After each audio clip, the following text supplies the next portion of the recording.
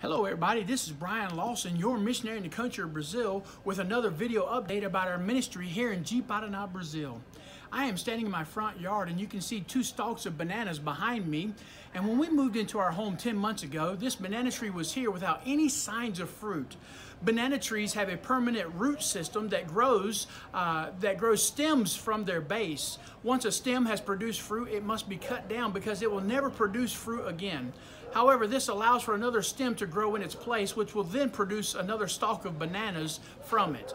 With no sign of fruit, we thought that maybe the stem was left in place after the fruit had been removed. However, two months ago, two stalks of bananas grew from two of the stems that you see here. And uh, what we thought was fruitless actually was just a slow, steady, and unseen growth. This is very similar to the ministry. For many years, we waited for God to use our family. Also, we completed our first term here in Brazil with what seemed to be very little progress or very little fruit. Now here we are in our second term with fruit that is evident from years of slow, steady, and unseen growth. We praise the Lord for the opportunities that are given to us weekly to share the death, burial, and resurrection of Jesus Christ.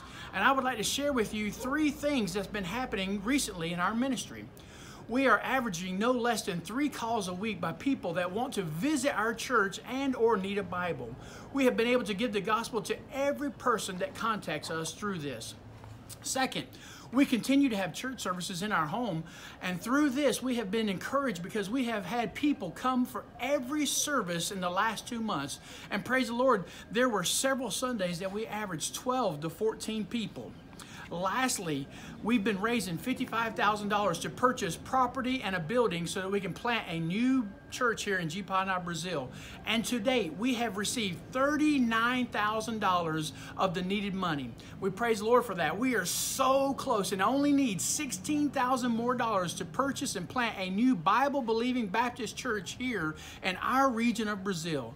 Please pray for us and for the purchase of this property. We are so excited as we're getting close to that. We've already purchased a piano.